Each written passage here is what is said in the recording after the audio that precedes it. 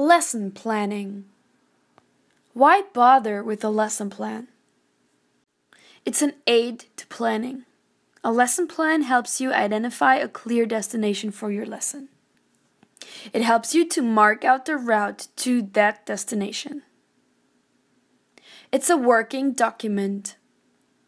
A lesson plan helps you identify a clear destination for your lesson. It helps you to mark out the route to that destination. It's a record. A lesson plan helps you keep track of what you have covered with your students. It also helps other teachers cover your lessons if you're ill.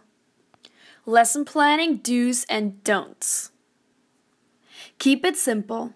If you need to refer to it in a lesson, a quick glance should tell you what you need to know. Don't write a script of the lesson. Structure your plan and keep the same structure. Note the expected timing for each activity. Activities should be connected, giving the lesson a logical pattern.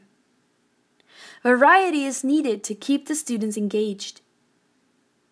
Try to anticipate student responses to questions.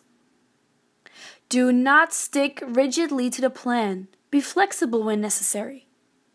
The lesson planning process. Prepare. Who are your students? What are your goals? What materials or equipment will be needed? How long will activities take?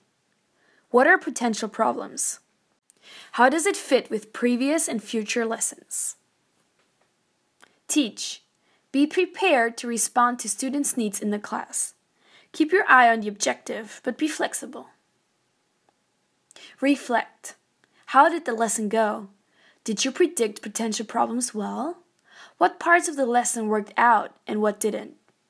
How could they have been done differently? What parts of your teaching need improving?